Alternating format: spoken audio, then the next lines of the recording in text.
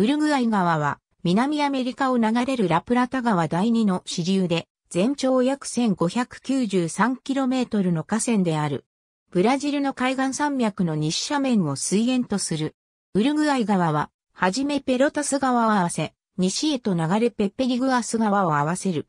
その後、次第に水量を増して南西へと向きを変え、ブラジルとアルゼンチンの国境となって流れる。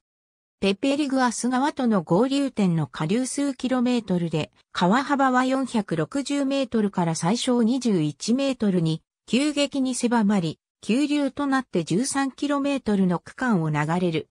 いくつかの河川が西方からウルグアイ川へ流入しているが、水量増加に影響を及ぼしているのは、東から流入するイフイ川、イビクイ川、クアライ川などで、各河川とも短いが流量は多い。クアライ川との合流点より下流では、ウルグアイ川がウルグアイとアルゼンチンの国境となり、南へ向かって流れ、長さが約 99km のウルグアイ川最大の支流であるネグロ川を合わせ、川幅を一気に6から 10km に広げ、およそ 100km 流れてラプラタ川へと合流する。川口からメルセデスまでの約 50km はかなりの大型の船でも航行できる。ありがとうございます。